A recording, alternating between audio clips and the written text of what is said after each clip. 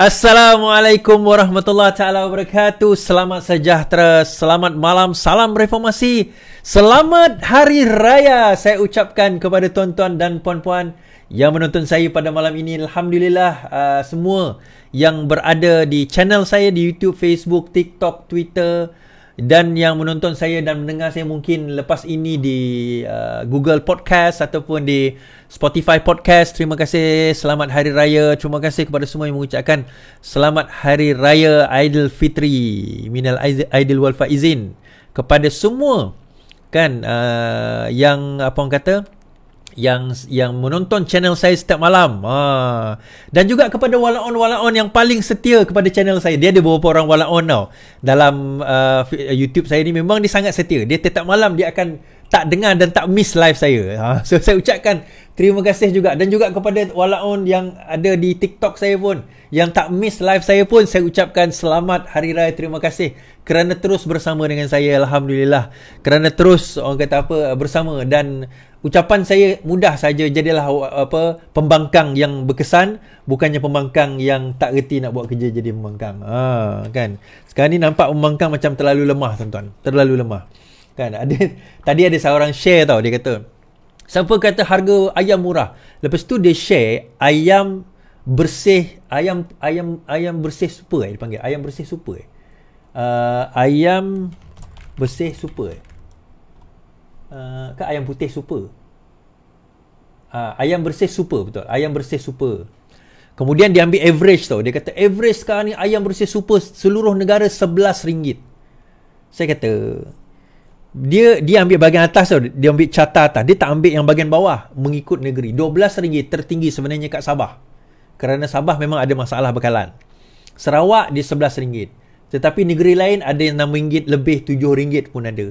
So bila kita average out, termasuk Sabah dan Sarawak, itu yang jadi mahal. Tetapi bila saya tengok secara puratanya, price kalau kita tengok dekat price catcher, lebih kurang ayam bersih RM7.49, RM7.90 ayam bersih standard. Okey. Dia sorry, ayam bersih super. Dia ambil ayam bersih super. Dia tak nampak ayam bersih standard. So, dia tak tahu saya rasa apa beza ayam bersih super dengan ayam bersih standard. Nampak sangat budak ni tak pernah pergi pasar membeli belah kot. Ha, so biarlah dia. Saya tak nak terangkan apa beza dia, biar dia find out sendiri kan. Ha, apa beza ayam putih super dengan ayam putih standard? Yang dia ambil itu super, dia bukan ambil standard tu. Dia tak apalah, itu mana kata dia lah kan. Ha, terpulang pada dia. So, malam ni insyaAllah saya berbicara beberapa perkara. Pertama, uh, kita komentar kita dengar ucapan Datuk Seri Anwar Ibrahim perutusan Perdana Menteri Datuk Seri Anwar Ibrahim. Kita tak dengar habis lah kita ambil ulasan sahaja. Kemudian uh, Kelantan ucap terima kasih kepada Kerajaan Madani. Uh, Nik Nazmi namakan calon ganti Anwar Ibrahim dan lima nama Sekretariat Pejabat Presiden PKR dilantik. Akhirnya Akmal Salih akor Perintah Agong dan Cikgu Fadli Salih menggelar orang bukan Islam bertanya sebagai kafir ditegur dan akhirnya beliau akur serta akur bahawa tindakannya itu satu tindakan yang salah tapi nampak gayanya macam dia tak berapa nak insaf tapi tak apalah. Itu mana kata dia lah kan? Hal dia terpulang pada dia. Dia saya tak claim saya ni lebih hebat daripada dia. Bagi saya dia orang yang dikenali ramai. Ha. tapi bila dia jadi influencer yang dikenali ramai saya risau bila ada cikgu yang ada berpemikiran sedemikian. Pepatah Melayu ni tuan-tuan, cikgu kencing berdiri, anak murid kencing berlari. Kalau kita faham maksud dia tu, oi besar maksud dia. Maksudnya arti kata uh, apa orang kata cikgu ni dia ajar dia satu. Kurang ajar dia tu satu. Tapi kalau anak murid dia kurang ajar boleh jadi sepuluh. Sebab apa? Sebab dia tengok cikgu dia. Cikgu aku boleh buat, aku boleh buat lagi hebat daripada cikgu aku. Ha, yang baik, dia akan buat lagi baik. Tapi kalau cikgu dia buat jahat, dia akan buat lagi jahat. Alah cikgu aku boleh buat, takkan aku tak boleh buat? Ha, jadi itu yang bahayanya tuan-tuan. Tapi sebelum kita pergi ke situ dan kita react kepada Ustaz Syahabuddin Ahmad punya video, yang react kepada yang yang komen tentang perkara tersebut saya tak akan dia 14 minit eh tuan-tuan boleh tengok Syabuddin Ahmad Ustaz Syabuddin Ahmad punya komen. Tapi uh, saya akan ambil part sebab saya saya nak cari posting yang berkenaan dengan Facebook dia tu. Saya tak jumpa eh, saya tak jumpa posting tersebut. So mungkin dia dah delete ke apa mungkin saya tak jumpa ke tak, tak tahulah. Tapi tak apa kita ke Bina bangsa Malaysia bukan alasan remehkan kepentingan Islam agama persekutuan kerangka pembinaan bangsa Malaysia tidak boleh diberikan alasan untuk meremehkan kepentingan Islam sebagai agama persekutuan termasuk usaha meningkatkan pelaksanaan syariah di negara ini. Perdana Menteri Datuk Seri Anwar Ibrahim berkata malah usaha itu perlu dilihat tegas dan tidak kelihatan bertolak ansur dalam kesungguhan memupuk nilai membina negara yang bermaruah. Bagaimanapun beliau mengingatkan perkara itu bukan satu peluang untuk meremeh, menghina dan merosakkan cara hidup agama dan bangsa lain. Inilah pertimbangan dan keseimbangan yang perlu dipertahankan dalam semangat kita di Malaysia merayakan Hari Raya Aidilfitri Mubarak ini. Perdana Menteri juga menegaskan negara ini memerlukan kekuatan semua pihak dengan semua wilayah dan kaum yang harus melonjakkan ke tahap terbaik dan bermaruah. Kita tidak boleh sisihkan malah memusuhi mana-mana kelompok majoriti atau minoriti, mana-mana kaum atau agama atau kepercayaan atas alasan apa sekalipun.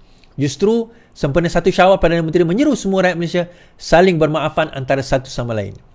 Ini juga saya ingin saya sampaikan kepada seluruh umat Islam dan rakan-rakan kita, masyarakat Islam seluruhnya iaitu memohon maaf seandainya ada ketelanjuran kata, ada kesilapan bahasa atau telah menyentuh perasaan.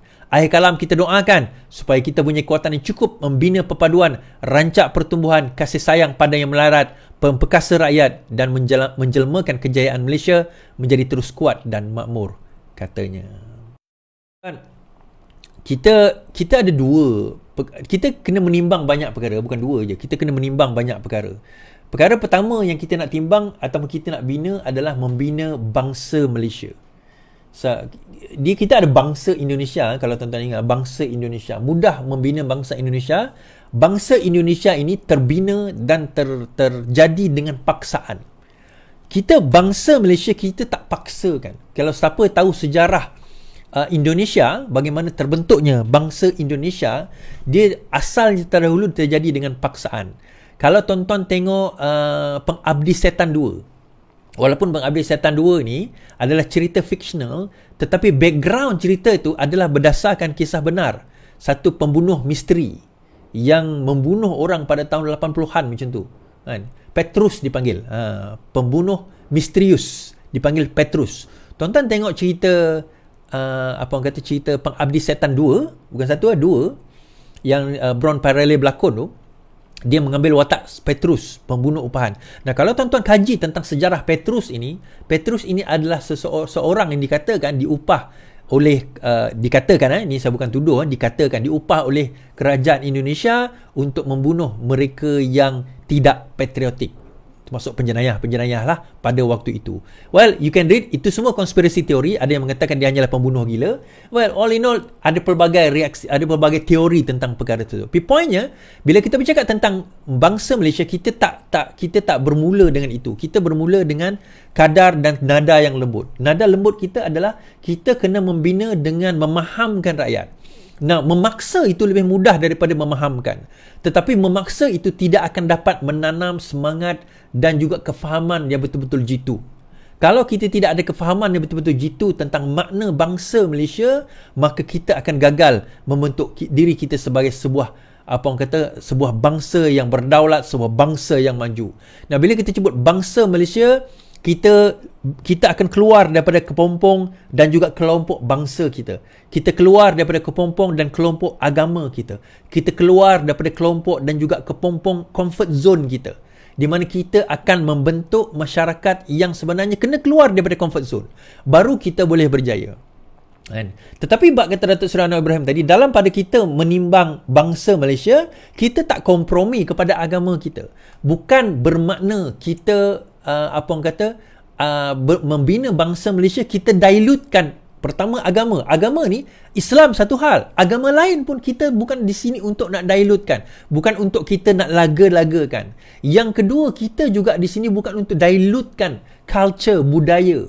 Kita kena faham budaya itu bukan sekadar berbeza daripada segi uh, bangsa tetapi juga daripada segi negeri orang Sarawak kaca kami ni lain budaya dia berbanding dengan orang Kelantan. Orang Kelantan berbeza budayanya berbanding dengan orang Kedah. Orang Kedah beza budayanya berbanding dengan orang Johor. Orang Johor berbeza budaya berbanding dengan orang Negeri Sembilan. Di Perak sendiri kalau tak silap saya ada tiga bahasa yang besar. Ha, yang mereka cakap yang membawa logat yang berbeza yang membawa diversity kepelbagaian dalam bangsa kita, dalam negara kita, menjadikan negara kita ini satu negara yang sangat unik untuk kita nak maju ke hadapan. And dengan apa dengan dengan pelbagai bangsa, pelbagai agama, diversity yang kita ada, kita sebenarnya itu bukan satu kelemahan. Itu bukan satu satu kelemahan yang akan menghancurkan kita. Itu adalah satu kekuatan yang kalau kita pandai pandu, kita tahu pandu dengan betul, kita akan menjadi satu nation, satu bangsa yang menjadi contoh dan satu bangsa yang boleh maju ke hadapan. Kita boleh menjadi satu uh, apa orang kata, satu bangsa. Uh, apa orang kata penganut agama Islam bangsa Melayu bangsa Malaysia yang yang dilihat yang bakal dijadikan contoh oleh dunia. Di mana kita boleh hidup harmoni di bawah satu bumbung tanpa ada kita rasa curiga di antara satu sama lain This is what I've been preaching for for so many years. Bertahun-tahun saya dok preach benda ni tuan-tuan. Kita bila kita majoriti bukan Melayu je lah. Mana-mana bangsa bila dia majoriti dia tend untuk menindas mana-mana bangsa dia akan tend untuk menindas dan dan benda ini yang akan menyebabkan um, sesuatu itu kita rasa macam yang majoriti ni kita rasa macam kita terancam dengan minoriti sebab kenapa kita uh, kenapa berlaku sedemikian? One of the main reasons is kerana kita gagal cuba untuk memahami dan untuk difahami. Kita kena faham mereka satu hal tetapi kita kena cuba fahamkan mereka juga tentang kita. Kan? Bila kita ada last interfaith uh, apa orang kata discussion dengan bangsa dan agama lain. Uh, InsyaAllah saya akan ada buat satu interfaith discussion eh? Satu pertanyaan, persoalan Tuan-tuan dan perempuan yang mana bukan beragama Islam Bukan berbangsa Melayu Yang datang nak ingin datang ke satu seminar kami nanti. Bukan seminar, classes lah kita panggil. Kita alu-alukan. Kalau anda ada soalan tentang Islam Tentang agama, tentang bangsa, tentang budaya Boleh datang. Nak belajar Bagaimana nak memahami mentaliti Dan juga kami nak faham. Kami nak tahu, kami nak mengkaji.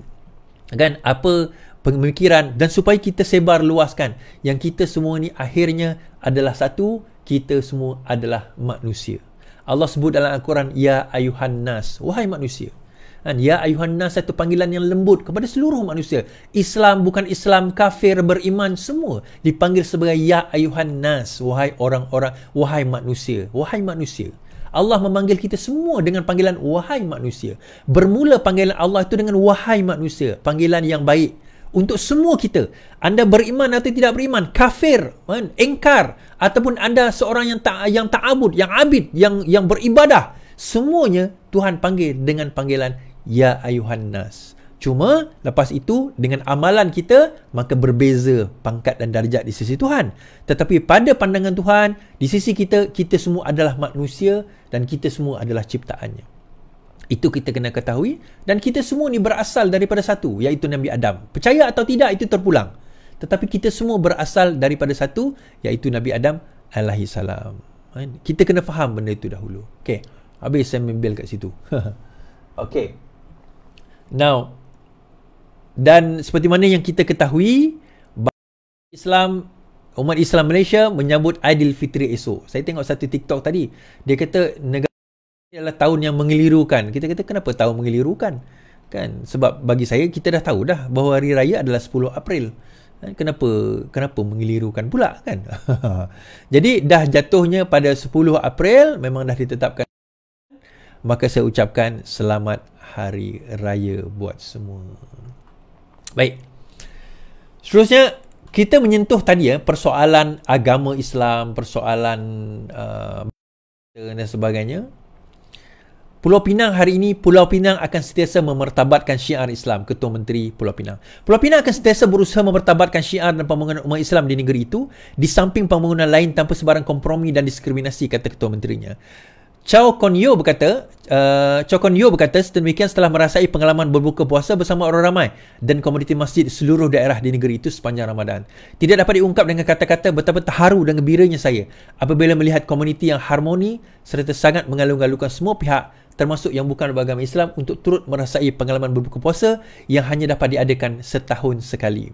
Sesungguhnya keadaan tersebut telah mencerminkan akhlak murni umat Islam di negeri ini, kata pemimpin DAP itu. Okey. Dalam perutusan Aidilfitri petang ini, Chow meminta orang ramai menggunakan kesempatan semasa sambutan Aidilfitri untuk mengukuhkan hubungan kekeluargaan dan mengeratkan silaturahim. Tuan-tuan, kadang-kadang saya pelik. Saya tak nak masuk ke situ lah. Uh, sama juga, perkara yang sama berlaku di di Sarawak kita katakan. Uh, di mana kita bangsa Melayu dan juga Islam di Sarawak ni adalah golongan minoriti kita adalah golongan minoriti berbanding dengan Kristian uh, dan juga bangsa Iban for example. Tetapi itu tidak menjadikan kita satu bangsa yang tertindas, kita kata. Kita hidup dalam kita ada masalah. Course, semua orang akan ada masalah. Tak adalah semua sempurna.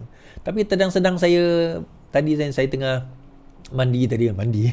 Tengah-tengah mandi saya terfikir kan, kenapa orang semenanjung ber, berada dalam keadaan yang pemikiran orang Melayu. Saya ni orang Melayu tuan-tuan. Saya orang Melayu. Tapi kenapa pemikiran orang semenanjung ni dia begitu terasing daripada pemikiran orang pemikiran agama Islam yang ajaran Islam yang sebenar. Begitu terasing. Sangat terasing. Bagi saya Ghuraba ada satu hadis eh, uh, Islam itu datang dagang dan akan datang pergi dagang. Bagi saya bila Islam itu datang sebagai dagang, orang selalu anggap bahawa dialah dagang. Arti kata dia tersisih. Bukan. Pada pendapat saya dagang arti kata orang itu dia IC-nya Islam pakaiannya pakaian Islam. Pakaiannya pakaian Islam, IC-nya Islam, namanya Melayu. Tetapi perbuatan dia jauh daripada perbuatan yang mencerminkan dia sebagai orang Islam. Saya bukan menyentuh daripada segi akidah. Eh. Akidah dia akidah Islam. Dia beriman pada Allah. Dia semayang lima waktu. Saya, saya masukkan akhlak. Jadi, saya terfikir, kenapa begitu sebenarnya? Bila saya lihat dan saya perhatikan, salah satu punca utama yang menyebabkan terjadi demikian sebenarnya adalah akibat kesalahfahaman orang yang membawa uh, gerakan Islam. Be it apa apa gerakan sekalipun. Kesalahfahaman memahami gerakan Islam menjadikan mereka membawa kepada satu satu aliran yang ekstrim yang akhirnya jauh daripada Islam. Syahid Imam Hasan Al-Banna masa dia mengasahkan masa, mengasahkan Ikhwan Muslimin ada satu kumpulan anak muda Syabab dipanggil eh, yang mana dia melihat bahawa Hasan Al-Banna ini terlalu lembut. Kalau siapa baca usul 20 Hasan Al-Banna dalam uh, uh, apa uh, dalam uh, dalam buku beliau dalam dalam buku beliau uh, uh, dalam dalam salah satu perkara disebut Al-Fahmu dalam Fahmu ada 20 perkara yang disebut di dalam perkara itu, ada di antara kalangan pengikut Asyid Imam Hasan Banna merasakan bahawa Hasan Banna ni terlalu lembut. Dakwahnya terlalu lembut. Dia merasakan kita kena keras. Kita kena tentang orang kafir. Kita kena lawan mereka. Kan? Orang Islam yang tak ikut kita, kita kena tentang. Mereka ini adalah munafik. Mereka inilah kekufur, kufur. Mereka inilah kafir dan sebagainya. Sampai kan selepas itu ada pengikut pengikut uh, Ikhwan Muslimin dia keluar satu satu frasa mengatakan kita adalah duat bukan qadi. Kita adalah pendakwah bukannya penghukum. Kita bukannya orang yang sepatutnya jadi penghukum kepada manusia yang lain.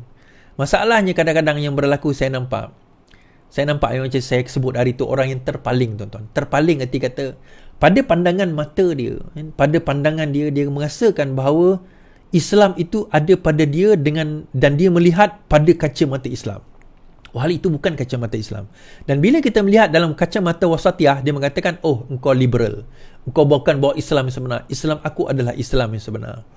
Dan pemikiran sebeginilah yang akhirnya membawa kepada ekstremisme, ekstremisme yang membawa kepada terorisme yang akhirnya membawa kepada peperangan yang kita kenali sebagai khawarij.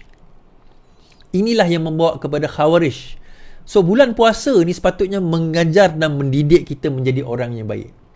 Tetapi saya tengok komen lebih kurang je. Bulan puasa ke, bulan tak puasa ke, maki boleh tahan. Tapi saya tak ada masalah tuan-tuan. Kan? Sebab bagi saya um, emosi kita ni kita punya. Tulisan tuan-tuan, tulisan tuan-tuan. Tuan-tuan yang tulis, tuan-tuan yang type. So saya tak boleh kontrol apa yang tuan-tuan dan puan-puan nak type, nak kutuk saya. Saya tak boleh. Tetapi saya boleh kontrol apa yang dalam jiwa dan raga saya. Dan bila Allah SWT pesan bahawa kan iza jaa nasrullah eh, bukan uh, kul a'udzu bin nas bukan kul a'udzu bin nas pula uh, yang wal asr innal insana lafi khusr illa allazina amanu wa amilus salihah wa tawassaw bil haqqi wa tawassaw bis sabr kan serulah ke, uh, wa tawassaw bil haqq berseru menyeru dengan hak dengan kebenaran dan dengan kesabaran. Kenapa Allah sebut hak itu? Bila kita menyeru dengan hak, Allah kata seru juga dengan kesabaran. Saya pelik. Kenapa? Yalah kita seru dengan hak, kita seru, kita maksudnya kita ajak orang kepada kebaikan, kita ajak orang kepada kebenaran tu, okeylah. Tapi kenapa seru kepada kesabaran? Mula-mula saya tak faham tau, apa yang Allah maksudkan seru kepada kesabaran tu. Hak tu saya faham lah, yelah kita kena buat baik lah. Kita kena seru orang laksanakan hak. Tapi seru dengan kesabaran. Rupanya tuan-tuan, bila kita nak menyeru orang kepada kesabaran, ke apa kepada hak, kepada hak, akan ada orang yang maki hamun kita akan ada orang yang menentang kita akan ada orang yang mengucap kita macam ada akan ada orang yang menyakitkan kita itu adalah sunatullah kepada kepada perjuangan kita memang akan ada so daripada itu apa apa landasan pertama sebelum kita nak lawan balik sabar kan uh, kan uh, dia kata hak kemudian uh, uh, sabar. Perkataan sabar itu dekat situ. Dan sabar ini banyak disebut dalam Al-Quran. Dan sabar ini banyak diajarkan kepa- diajarkan kepada para nabi. Kan? Diajarkan kepada nabi. Ada orang tulis komen kan, dia dia tulis komen ataupun dia WhatsApp, dia apa? Dia dia? Mesej saya dia kata, "Alah kau bercakap tentang Islam, macamlah kau bagus sangat." Kadang-kadang saya pelik tuan-tuan. Adakah Islam tu hanya untuk dia orang saja? Kita ni tak boleh cakap tentang Islam. Kau cakap tentang Islam macam kau tu ustaz. Adakah ustaz je yang layak masuk syurga tuan-tuan? Adakah kita ni semua tak layak masuk syurga?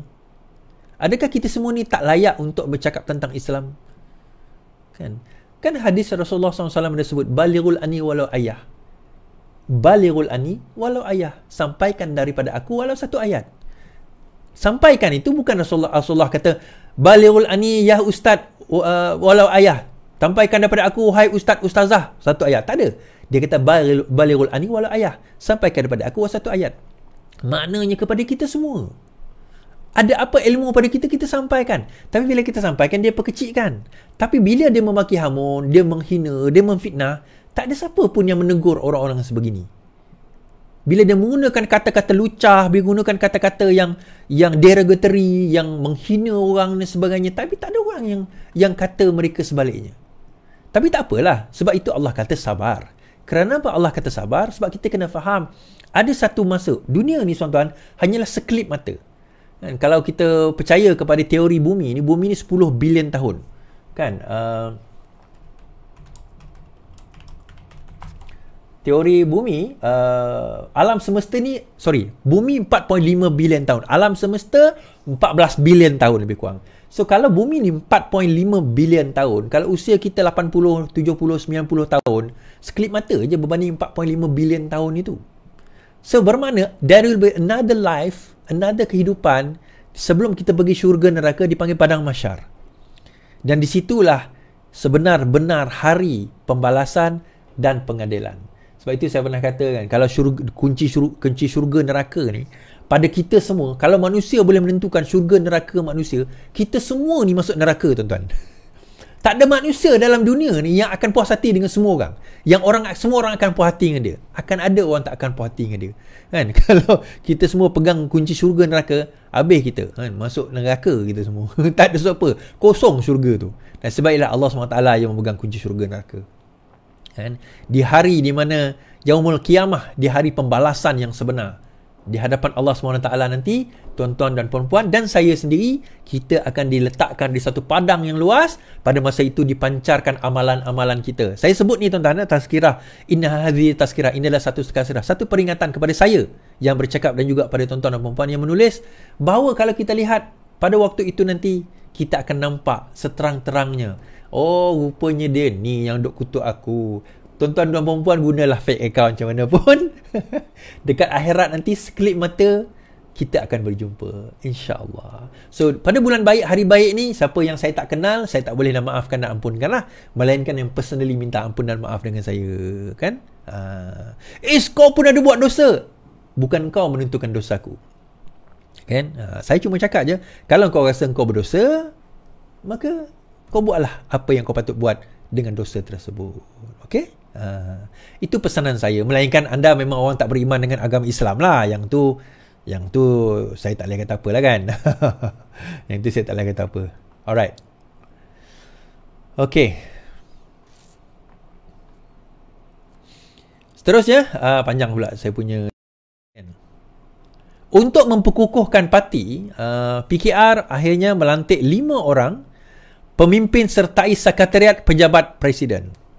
Okay. Uh, Manivanan, Juwariah, Datuk Rom, On, uh, dan juga Sim, eh, Sim Zizin.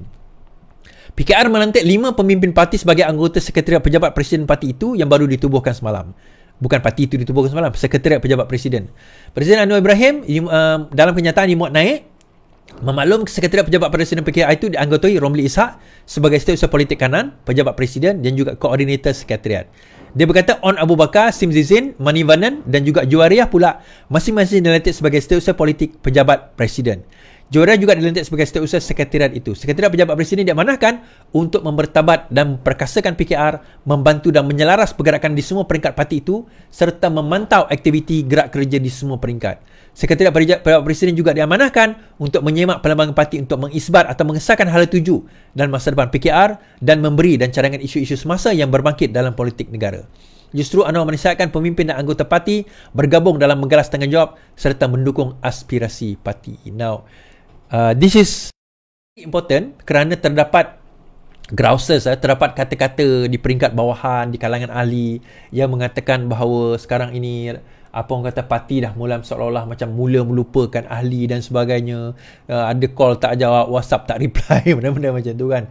Uh, dulu parti-parti lain boleh je dapat dana banyak berjuta-juta PKR kita dah jadi kerajaan office pun tak ada. Ya betul tuan-tuan. Uh, kita nak akui kita akui ya. Saya ketua cabang Petrajaya kami office pun tak ada. Kan? Sebab apa office tak ada? Sebab memang kami tak diberi dana bulan-bulan kita tak dapat juta-juta puluh ribu ratus ribu tak ada still kena guna duit sendiri. Kenapa? Sebab parti keadilan bukan parti sakau, tuan-tuan. Itu saja. Saya cakap pada kawan-kawan saya kata, "Is, kenapa tak boleh bagi kita dah kerajaan bagilah duit ni, tu bandana ni, projek itu." Simple je sebab kita bukan parti sakau.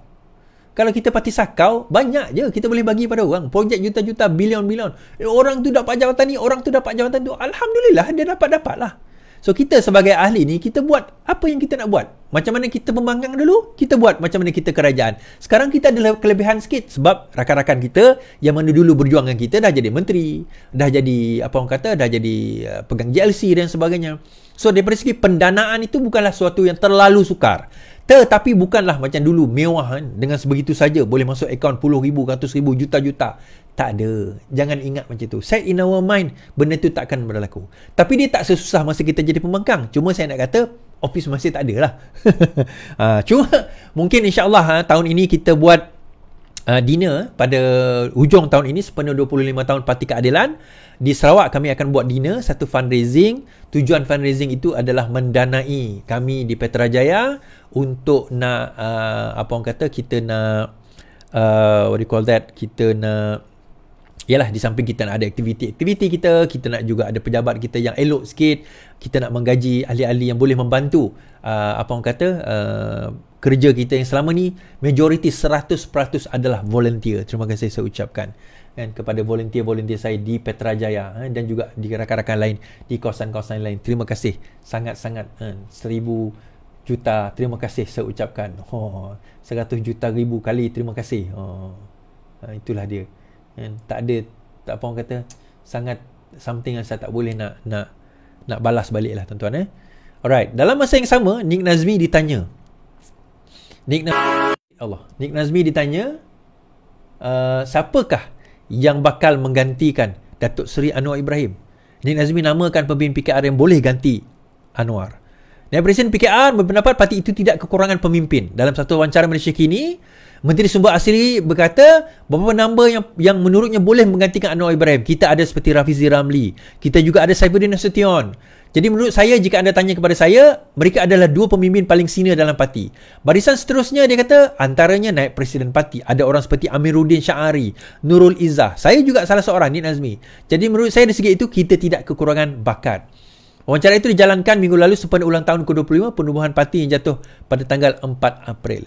Din Azmi ditanya siapa yang menurutnya boleh memimpin negara dan menerogi PKR. Dan uh, dia kata uh, Rafizi pada masa ini menjandang jawatan sebagai Menteri Ekonomi manakala Saifuddin sebagai Setiausaha Agung. To be honest tuan-tuan, eh, sebenarnya apa yang uh, Nick Nazmi sebut itu adalah benar. um, kalau kita tengok rata-rata pemimpin di dalam parti keadilan ni adalah dalam lingkungan muda. Muda lah. Bawah 50 kecuali Safuddin Nasution dia atas 50. Macam Nick Nazmi sendiri early 40s, uh, Rafizi 47 umur saya. Manivanan tadi 47, Charlie Kang 47. Ke mana? Ah, Manivanan umur saya juga.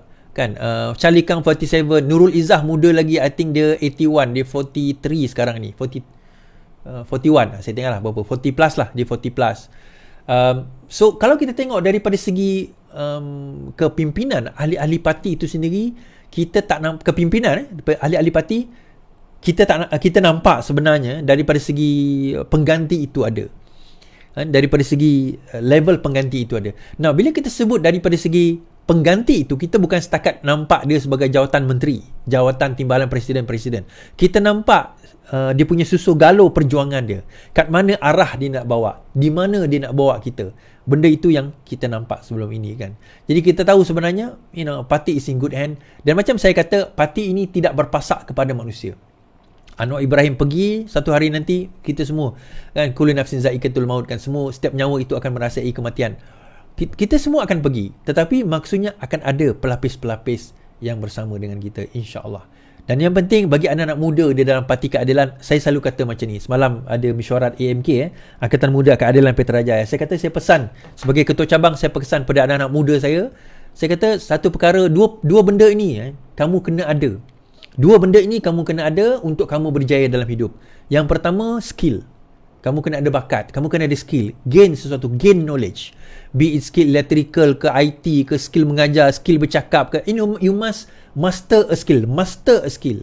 Dan yang kedua, kamu kena ada disiplin. Dua benda ni kamu kena ada. Kamu kena ada dis, um, kamu ada skill dan kamu kena ada disiplin. Kamu kamu ada dua benda ni, insya-Allah kamu boleh menjadi orang yang berjaya di dalam hidup. Habis kat situ. Di dalam UMNO pula, eh, lain pula cerita. Akmal junjung titah yang di-Pertuan Agong. Ketua Pemuda AMNO Dr. Muhammad Akmal Saleh menjunjung titah yang di-Pertuan Agong Sultan Ibrahim untuk menjaga keharmonian negara dan memelihara kesucian Islam. Dalam satu hantaran di laman Facebook, beliau berkata, ia demi meredakan polemik. Didoakan semoga ke, ke bawah duli yang maha mulia yang di-Pertuan Agong dikurnia kekuatan dan kesihatan serta terus, terus kekal bersemayam di singgah sana dan dapat memerintah negara dengan penuh kedaulatan dan kebesaran, katanya. Seri Paduka Hindia bertitah uh, pemimpin daripada semua pasti mesti menjadi jambatan atau penghubung antara masyarakat majmuk di Malaysia dengan memberi contoh perilaku yang matang. Pemimpin kanan UMNO dan DAP menghadap Sultan Ibrahim yang tertumpu kepada perkembangan semasa berkaitan isu sensitiviti agama dan kaum. Selain Dr. Muhammad Akmal, pemimpin lain yang hadir ialah uh, Datuk Seri Muhammad Hassan, Pengurusi Badan Pembangunan UMNO Datuk Seri Abdul Rauf dan Timbalan Sisa Agung DAP Liu Chintong juga hadir dalam mesyuarat ni. Macam kita katalah tuan-tuan eh. Bahawa bila disebut ni last lah yang di Pertuan Agong sebut stand down, stand down, stand down, akhirnya dia stand down juga. Bagi saya yalah Dr. Akmal ni budak muda lah. Eh. Bagi saya dia muda. Tapi muda ni macam saya kata tadi, kita pun muda juga. Tapi dalam muda kita, kita muda umur tetapi kita kena matang dalam pemikiran kita kena matang dalam berpolitik dan kita kena tahu bagaimana meraih strategi uh, meraih simpati dan juga meraih uh, populariti kita. You know any publicity is a publicity. Any publicity is publicity. Be it good publicity bad publicity kita buat baik kita maki hamun is a publicity. Even apa orang kata Alip uh, Alip Sukri yang buat video yang macam tu pun is a publicity. Kita yang viral kan? Kan? Oh dia kata saya April Fool je. Tak kisahlah kita viral kan? Dan akhirnya it's good for his business. It's a publicity be it good or bad. Kan habis kat situ. Um, tapi okay ini cerita lain dah tuan-tuan eh. ni saya saya tiba-tiba bila saya baca tadi saya teringat satu ayat tau. Satu perkataan tau. Um, kita selalu dengar kan duli yang maha mulia.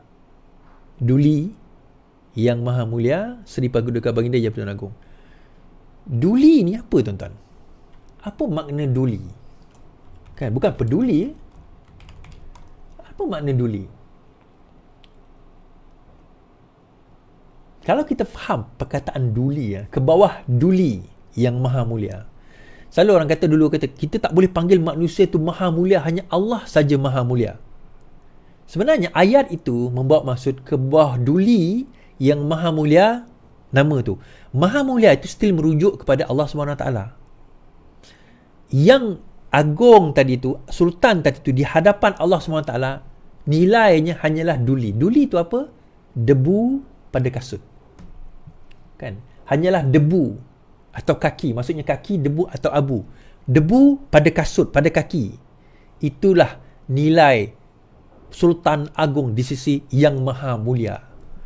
Jadi cantiknya bahasa ni dan bahasa bahasa ini diambil daripada Sanskrit dulu tu. Duli tu pun kalau saya adalah asalnya bahasa Sanskrit juga. Tapi maksudnya cantik bahasa Melayu ni kan di hadapan Allah walaupun ya, maksudnya peringatan kepada pemimpin-pemimpin bukan saja yang di-Pertuan Agong, bukan saja kepada sultan-sultan, kepada semua pemimpin bahawa apa siapa pun kita kita adalah manusia yang tidak ada nilainya di sisi Allah SWT. Tidak ada nilainya. Nilai kita ni macam debu atau ke bawah lagi daripada debu. Debu di kaki. Nilainya kita begitu. Jadi, peringatan kepada kita, jangan kita anggap kita ni, oh aku glamour. Aku berpangkat tinggi. Aku jawatan ini. Maka aku mulia. Tak. Itu bukan kemuliaan. Tapi itu adalah satu ujian dan bebanan buat kita. Ini bukan yang khas untuk Yang Pertuan Agong. Cuma saya tertarik dengan ayat tadi lah duli yang maha mulia. So harap tuan-tuan belajar sesuatu daripada sini. Okay, habis. Semalam tuan-tuan eh, semalam uh, Hana Yoh sebut betapa kecewanya dia dengan Said Sadiq setelah dia menyokong selama ini. So Said Sadiq bila dia panggil DAP sebagai lapdog kepada kepada uh, Zahid. Anggota kehadapan sahabatku Hana, Hana Yoh, ini bukan tentang kita. Anggota Parlimen Muar Syed Saddiq mempertahankan kritikannya terhadap DP yang melukakan perasaan sahabatnya Hanan Yoh daripada parti itu. Menulis di Facebook hampir 24 jam selepas keluhan Yohana Yoh, Syed Saddiq menegaskan kenyataan pendiriannya bukan bersifat peribadi. Karaman sahabatku Hanan Yoh, perkara ini bukan tentang saya, bukan tentang persahabatan kita. Ia tentang masa depan Malaysia, kata pengasas dan bekas presiden muda. Yoh dalam wawancara dengan Malaysia Kini minggu lalu mengakui kritikan pedas sekutu daripada Syed Saddiq amat menyakitkan. Saya rapat dengan Syed Saddiq dan faham anak muda ini percaya dengan Malaysia dengan pelbagai kaum. Anda ber- perlu bagi kredit kepadanya. Saya tak tahu apa yang perlu dikatakan sebab saya tidak ulas perkara ini secara terbuka. Tetapi ia pastinya ada rasa terluka.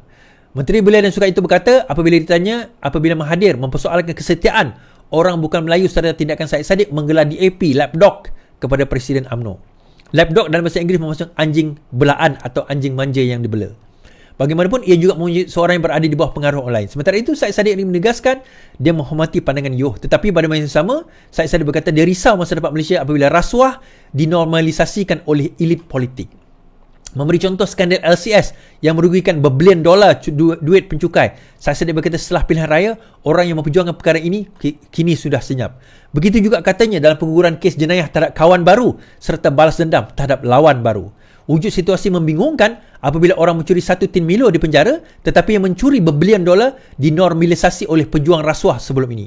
Tiada prinsip, tiada basa, uh, batasan, tiada rasa Melayu, malu katanya yang membangkitkan tentang amalan politik Michevillian iaitu matlamat menghalalkan cara.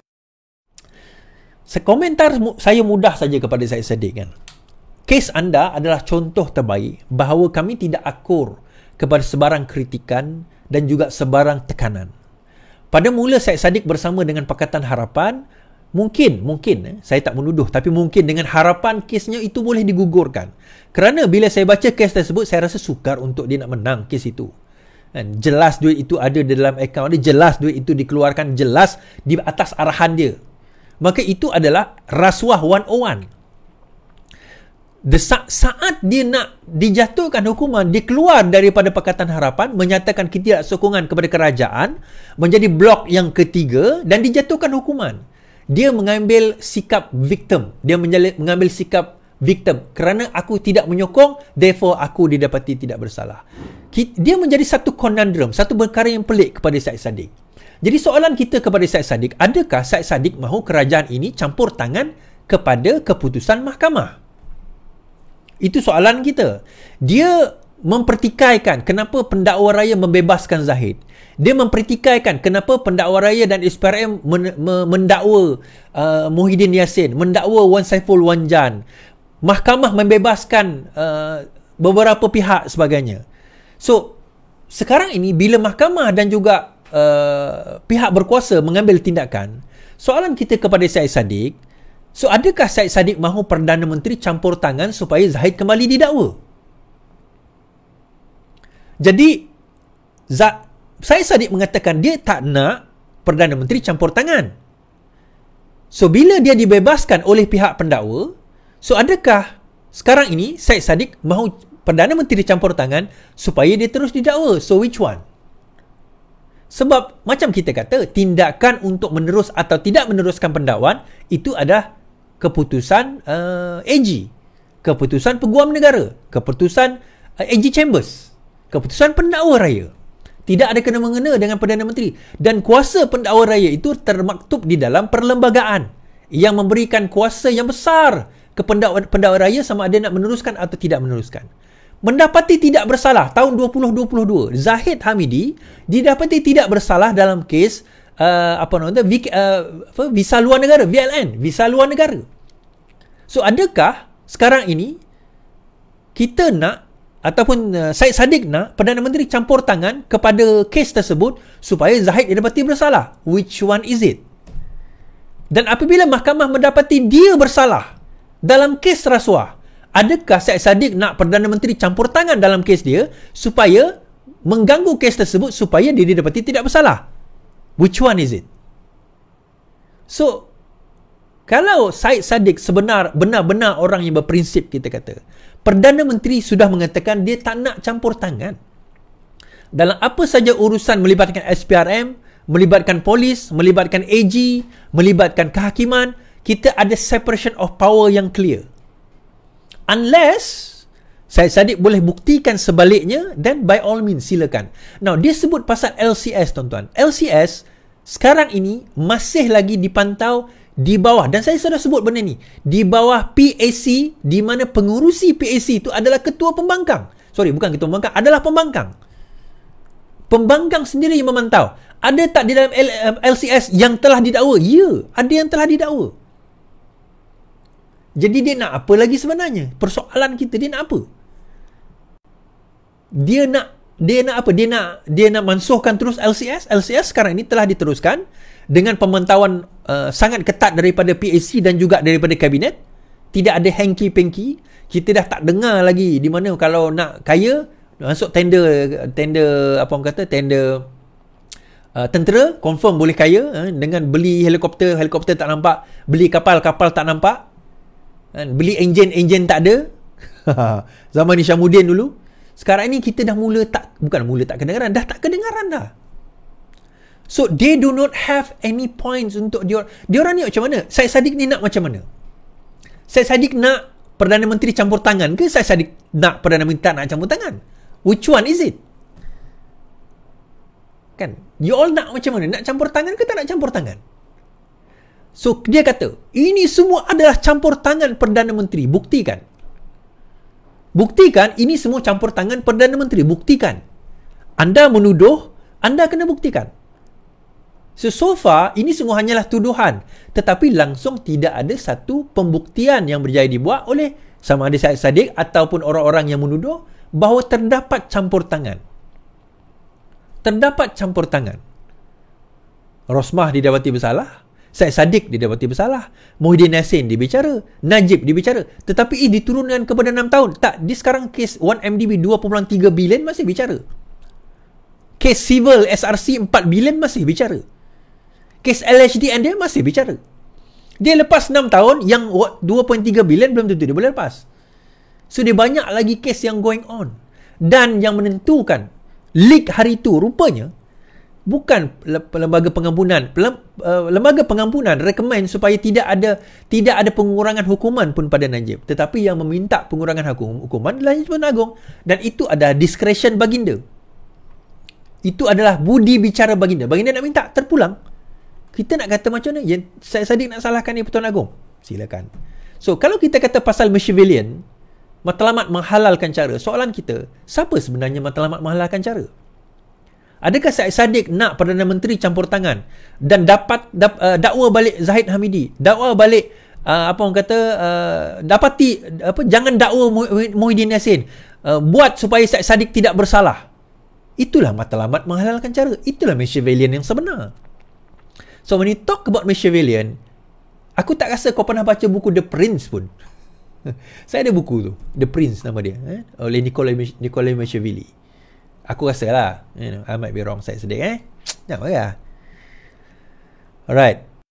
Dan tuan-tuan, Kelantan mengucapkan terima kasih kepada kerajaan persekutuan yang telah menyalurkan wang ihsan sebanyak 58.6 juta ringgit pada minggu lalu.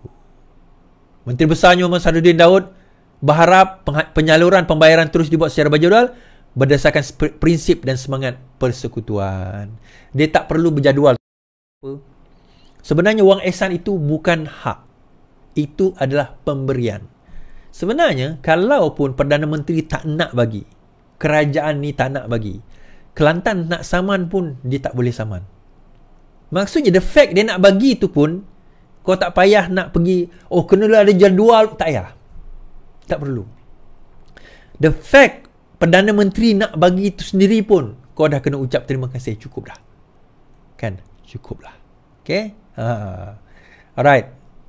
So, saya sudahi dengan uh, Cikgu Fadli Saleh yang kontroversi memanggil seorang bukan Islam sebagai kafir. Okay, setelah fitnah larangan kunut nazilah di sekolah bekas guru ini ditegur panggil kafir. Seorang guru kontroversi dengan fitnah kononnya wujud atasan arahan atasan melarang kunut nazilah di sekolah Minggu Solidariti Palestin kini menjadi perhatian susulan komennya yang memanggil kafir. Ia berkaitan respon Muhammad Fadil terhadap seorang, seorang individu bukan Muslim yang menggunakan akaun Facebook jenis Guinness Go. Muhammad Fadil Saleh bekas guru bukankah perlu berfikiran sederhana? Ini cara betul untuk mendidik masyarakat soalnya. Namun jawapan balas Fadli yang begitu ini kerap tular kerana banyak mengkritik sistem pendidikan dilihat mengejutkan. Guinness Go, diamlah kafe. Aku tak kacau agama kau. Jangan menyebut urusan agama aku, tulis Fadli. Nah, Guinness Go tulis sebagai bekas guru bukannya perlu berfikiran sederhana. Ini cara betul untuk mendidik generasi. Kemudian Fadli Saleh kata, diamlah kafe. Aku tak kacau agama kau, jangan kau nyebut urusan agama aku.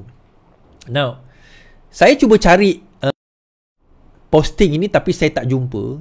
Kemudian Fadli pun justify lah. Dia kata sebenarnya tak salah. Itu adalah tindakan provokasi jenis goh ni yang memprovokkan dia. So saya cuba cari komen yang mengatakan tersebut. Uh, saya tak jumpa. Tapi Ustaz uh, Syihabuddin Ahmad ada ada capture screen dan beliau react. Dan sama-sama kita mendengar reaksi beliau. Dia 14 minit saya tak akan main 14 minit ni. Tonton boleh pergi ke YouTube beliau. Tapi saya nak ambil point yang berkaitan dengan apa yang dia sampaikan uh, tersebut eh maksudnya uh, Facebook dia Wabarakatuh, saya Syihabuddin. Terima kasih banyak kerana anda berada di channel YouTube saya dan terima kasih banyak jika anda telah tekan butang subscribe. Kalau belum tekan butang berkenaan, ya. tekan butang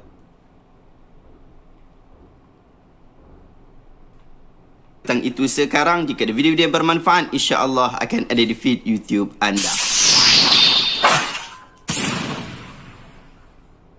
Sahabat-sahabat, baru-baru ni jadi viral isu Cikgu Muhammad Fadli Salih yang berikan satu kenyataan yang kita agak sedikit kasar. Kita tengok apa yang beliau sebutkan dan kita berikan reaction pada hari ini. Viral apabila Guinness Go komen dekat Facebook uh, Cikgu Muhammad Fadli Salih katanya, sebagai bekas guru, bukankah perlu berfikiran sederhana? Ini cara betul untuk mendidik generasi muda. Ini soalan daripada Guinness Go. Minta maaf kalau sebut nama salah. Saya tak disebut nama tu. Kemudian Cikgu Muhammad Fadli jawab. Dia kata, kata, diamlah kafir. Aku tak kacau agama kau. Jangan kau menyibuk urusan agama aku. Okey? Jadi macam biasa, bila jadi isu viral macam ni, saya akan pergi rujuk kepada kenyataan yang paling awal dalam isu ni. Dan nak pergi cari komen asal bab tu memang dah tak ada. Cikgu Fadli dah padam. Tapi kita nampak ada penjelasan terbaru daripada Cikgu Fadli Saleh. Jom kita baca apa yang beliau sebut. Dia ada keluarkan satu kenyataan kata dia tak mau nak sebut lagi isu ni. Pening dia mungkin ada masalah macam-macam fake account datang provoke dan sebagainya. Uh, dan dia kata kata mungkin dia akan bercuti untuk Facebook untuk beberapa hari ataupun lebih. Tak tahulah dia merajuk kot. Tapi kemudian dia sebut tentang last kali. Yang ni yang saya suka untuk kita ambil dapatan dan penjelasan daripada beliau sama-sama. Kata beliau, dan last kali ni penjelasan buat isu kafir itu. Ni dia komen asal. Ha, dia tunjuk komen asal jadi kita tengok. Ni dia komen asal tapi saya through crop dan buatkan seolah-olah si Goh tu tanya kat post biasa. Tidak, dia mai reply komen saya masa saya tulis bab syariat agama. Asalnya saya komen pasal aurat dan wanita free hair yang galak buat post provoke saya. Aurat ni syariat Allah untuk umat Islam sahaja. Non-Muslim tak terlibat. Dia mai reply komen bab urusan agama Islam. Lepas tu dah ramai dah tegur dengan berhikmah, masih tak minta maaf atau tak delete komen. Marahlah saya masuk campur urusan agama Islam. Sangat banyak komen orang lain tegur dengan berhikmah dan lembut pun dia buat keras je. Dahlah campur urusan agama Islam. Bila ditegur dengan baik tapi buat tak indah, memang selayaknya kena sound dengan panggilan si kafir terus. Oh, selayaknya. Eh? Galilah sebanyak mana tulisan saya sejak kali pertama saya main FB lagi. Tak pernah saya sekasar ini dengan non-Muslim. Ini first time dan inilah dia puncanya. Okey, tu je nak cakap. Bye. Nak pergi tambah jam kat atas jalan raya. Kita tengok apa dia marah sangat ni. Muhammad Fadli Salih kata, geng perempuan tak bertudung pun ada acah-acah buat post. Jangan timbulkan fitnah pada Islam bla bla bla bla. Tutup aurat bagi elok dulu si kak. Cara awak tu pun dah jadi fitnah pada Islam. Kemudian baru Jinin Goh tersebut dia kata sebagai bekas guru bukannya perlu berfikiran sederhana. Ini cara betul untuk mendidik generasi muda. Kemudian Muhammad Naqluddin kata jadi para pelajar juga kena berfikiran sama. Maka mereka akan menuntut aurat ke Muhammad Fadil Saleh. Kemudian Ahmad Nazrul kata awak bukan Islam, aurat bukan untuk awak, jangan campur hal agama ini. Kemudian uh, ada lagi komen yang seterusnya. Kita hanya berpandukan screenshot yang diberikan oleh Cikgu Fadli Salih saja eh, sebab kita dah tak temui uh, post yang asal. Cuma saya duk cari-cari, saya duk tengok setakat yang kita nampak jawapan balas daripada Ginin Goh tu. Sebab Ginin Goh ni dia sebut satu ya, yang lain dia tak sebut dah. Yang saya nampak, saya tak nampak komen dia yang seterusnya. Cikgu Fadli pun tak ada screenshot yang tu so kita tak nampak daripada post asal dia. Yang kita nampak dia bagi satu kenyataan, kemudian ada orang-orang mensyarah dan salah seorang pensyarah itu adalah Cikgu Fadli Salih sendiri. Kemudian dia duk bawa sentimen dia kata apa? Lagi komen orang lain penuh berhemah dan lemah lembut tegur dia. Si Goh ni buat keras kepala. Saya duk pening apa isu keras kepala ni. Adakah dia masih lagi jawab dengan jawapan yang uh, menentang Islam ataupun mencapuri agama Islam tapi saya tak nampak. Bukan tak ada, eh. saya tak pasti ada ke tak ada tapi saya tak nampak daripada screenshot yang dikongsikan oleh Fadli Saleh. Dia kata tak ada minta maaf, tak ada tarik balik komen. Baru saya masuk sound sedas. Dapat kat saya terus dia crop komen Goh dan komen saya saja untuk timbulkan fitnah dan persepsi seolah-olah saya layan semua non-muslim macam layan si Goh. Si Goh ni selayaknya kena panggil begitu kerana campur urusan agama Islam. Saya tak kesal panggil dia begitu. Oh ni salah ni. Cuma saya kesal ramai orang lain datang maki yamun saya. Guna bahasa yang super biadab dan kurang ajar. Tak ada ada pun geng-geng yang backup Goh nak mai backup saya. Mereka Islam, saya Islam. Tapi mereka memilih backup kafir yang campur urusan agama Islam dari backup saudara si Islam. Nampak tak betapa teruknya minda bila terlalu taksub politik. Double standard melampau. Saya agak ada masalah dengan kenyataan daripada beliau ni. Banyak argument-argument yang kita kata assumption. Tiba-tiba pula isu taksub politik masuk. Padahal siapa yang main politik dekat sini pun saya tak nampak siapa yang main politik dekat sini. Kemudian uh, memilih backup kafir yang campur urusan agama dari backup saudara si Islam. Saya nampak ini satu assumption yang tak patut ditimbulkan. Tapi tak apalah, itu komen daripada beliau. Ikut sekati beliau. Itu post daripada beliau. Tempat beliau, Facebook beliau. Silakan, tak ada masalah. Sahabat-sahabat, saya tak pasti Cikgu Fadli Salih ni, dia tahu tak untuk menjawab soalan daripada non-Muslim berkenan. Saya tak pasti. Ya, walaupun isu aurat dan isu wanita ni adalah isu orang Islam, tetapi saya tak nampak celah mana itu adalah dilarang dan menghimpit seseorang untuk berlaku keras hingga kata wahai kafir dan seumpama dengannya. Tak bolehkah non-Muslim bertanya tentang urusan agama kita? Kalau benar tak boleh, maka tak bolehlah kita berdakwah kepada mereka. Kerana bila kita dakwah kepada mereka, pasti mereka akan bertanya tentang urusan agama kita. Bahkan bukan Okey. Saya bagi Ustaz Syabuddin bahas balik sikit eh. Saya ada beberapa komentar bila disebut tentang aurat wanita tu saya rasa dia rujuk kepada Liana Mazuki yang perempuan saya sebelah tadi tu kan yang dia kata tak menutup aurat. Tuan-tuan, di dalam kita berdebat dengan orang, dalam kita berbincang satu isu, itu dipanggil bagi saya itu salah satu konsep dipanggil strawman argument. Kita debat soal ini, kita bincang soal ini. Dan soal fitnah di dalam Islam, membela Islam sebagainya. Tiba-tiba dia rujuk kata, eh, kau pun tak pakai tudung, tak payah nak sembang pasal Islam. Itu bukan cara perdebatan dan cara peradaban dalam perdebatan. Dan bukan cara pemikiran orang yang matang pun dalam perdebatan. Lebih-lebih lagi, dia adalah seorang cikgu. Bagaimana dia boleh menggunakan, itu itulah, itu kalau itu level cikgu, bayangkan walaon punya level macam mana tuan-tuan. Itu level yang kira ada pelajaran lah kita kata. Level walaon macam mana. Kenapa saya kata demikian tuan-tuan? Eh? Dia orang wanita yang yang tidak menutup aurat tadi itu mempersoalkan fitnah yang merosakkan Islam. Mungkin dia rujuk Liana, mungkin dia rujuk sistem Islam tak kisahlah. dia mem- tiba-tiba dia mempersoalkan soal pasal kenapa kau tak pakai tudung. Itu juga adalah fitnah. Apa kena mengena? Tuan-tuan, dosa dia tak pakai tudung, itu dosa peribadi dia. Yang dia persoalkan itu bukannya pasal tudung. Even kalau dia persoalkan pasal wajib ke tidak perempuan memakai tudung tu pun, kita kena jawab pada soalan yang memakai tudung. Bukan kita tengok pada fizikal dia. Contoh kalau tiba-tiba datang, datang pada kita orang bertanya soalan, ada ke kalau kita berdakwah orang tu bukan Islam datang pada kita tanya soalan, uh, benarkah dengan ini hukum uh, Islam? Eh kau nak tanya aku soalan kau sunat pun tidak. Apa kena mengena dia sunat ke tidak dengan soalan yang dia nak bawa? So di situ kita nampak level pemikiran yang dinamakan sebagai seorang cikgu ni sebab dah jadi bekas lah. Kalau ini orang yang mengajar generasi kita akan datang tuan-tuan. Risau aku dengan bagaimana produce apa uh, produk yang murid-murid yang dihasilkan dengan pemikiran sebegini. Kemudian yang kedua, bila dia mengatakan bahawa si Goh tadi tu dengan kasarnya menggunakan perkataan-perkataan yang tidak wajar sebagainya. Now, kalau kita baca perkataan tadi tu, apa yang tidak wajar? Goh tanya. Goh ber, ber, bertanya, berkata, mengatakan bahawa tentang ber, ber, apa, kata ada sifat sederhana. Terus dia panggil kafe. Tuan-tuan, macam mana dia boleh assume si Guinness Goh tu kafe? Bagaimana kalau dia adalah seorang Islam ataupun yang berminat tentang Islam ataupun orang yang mengkaji Islam? Sebab itu kita kata bahawa kalau orang tanya soalan sedemikian, kita kena jawab dengan jawapan. Bukan kita jawab dengan makian. Tuan-tuan tengok debat saya dengan uh, Syafiq Halim berkenaan dengan duit 300 juta masuk akaun bersatu. Debat saya dengan Alif Western berkenaan dengan kafe. Debat saya dengan Rotinan berkenaan dengan judi. Dia tanya soalan, kami berdebat, kita berdebat dengan kaedah, perdebat, saya lah berdebat dengan kaedah perdebatan. Dia orang dok pusing, dok pusing, dok pusing. Tetapi ada tak saya maki dia, saya kutuk dia, saya kata dia macam-macam, tak ada kena mengena dengan topik perbincangan, ada ke? Kan? Sebab itu, ha, ni saya buat promosi lah, promosi lah. Ha. Pentingnya kalau dia nak datang, datang critical class saya. Kan? Ha, hari ni Alhamdulillah dah masuk 20 lebih orang, dah ada pertambahan. Siapa nak lagi, meh cepat.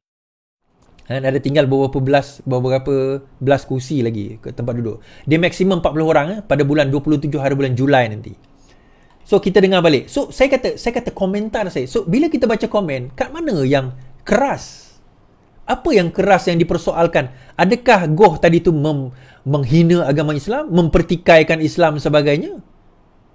Dia cuma bertanya soalan tentang kesederhanaan wasatiyah.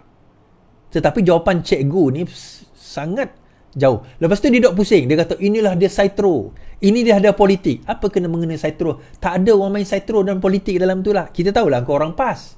Tapi kita tak gunakan alasan itu untuk nak bantai kau.